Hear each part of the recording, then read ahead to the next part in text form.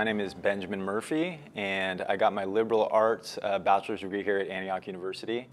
And I proceeded to go on and get the master's in clinical psychology um, and just recently finished.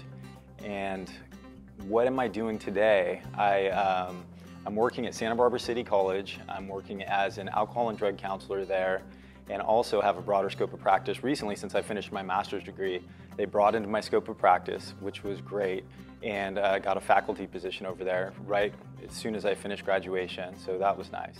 One thing I really noticed about doing the master's program was that I didn't feel like I was um, like I was out of my league.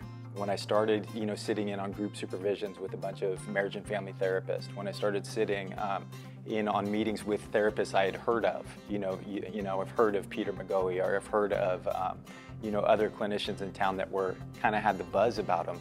I found myself there and I knew what they were talking about, you know. And so I felt really well prepared for my practicum, felt really well prepared for my traineeship. And apparently my work thought I was well prepared too because they gave me a faculty position. When I first came here, I, I didn't feel like I was smart enough to be here, right?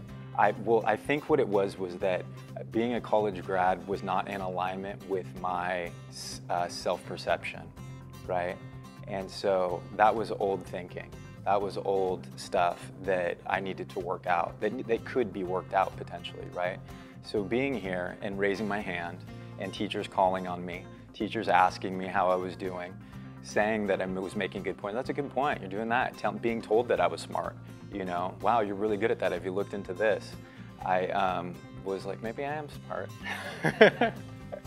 and my confidence just began to build. My confidence just began to build. And now I know I'm, you know, I know I'm capable. You know, I, I look for challenges now. You know, if I don't know how to do something, I know I can do it. I just know that I haven't learned it yet. So when people tell me, like, I can't do, I tell that to my clients now too. They say, I can't do, I really can't do that. You know, be careful with that word, right? Because I used to say that a lot. And now when I don't know something, I just say, I know I can do that. I just haven't learned it yet. So I need to learn it, then I can do it. And that transformation happened here during my undergraduate. By the time I was being encouraged to go for my master's degree, now we're talking master's degree, wow, I'm gonna be like a hot shot, right? And, and, and it was a good feeling. And I was encouraged to go and, and, I, and I decided to go and then I got accepted into the program. And then my self-esteem was really feeling healthy, not in an arrogant way, not in a cocky way, in a, in a way that I really felt proud of myself.